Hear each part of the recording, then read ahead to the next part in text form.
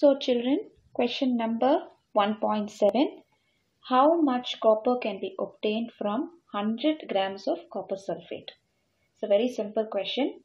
So for this, we are going to first find out the molecular mass of copper sulfate. So here, we'll write down molecular mass of copper sulfate is equal to mass of one copper atom plus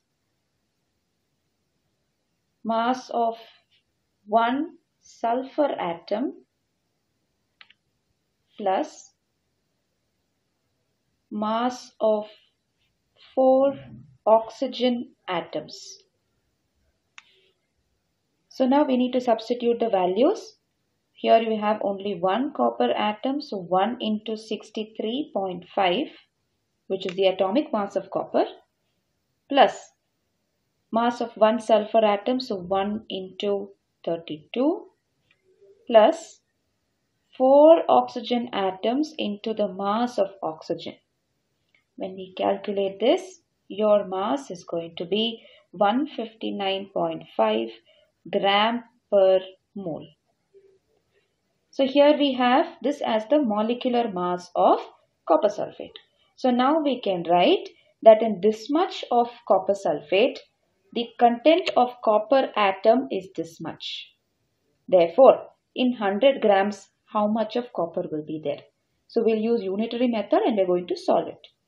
So here we'll write 159.5 gram per mole of copper sulfate contains 63.5 grams of copper. Therefore, how much is asked in the question? 100 grams.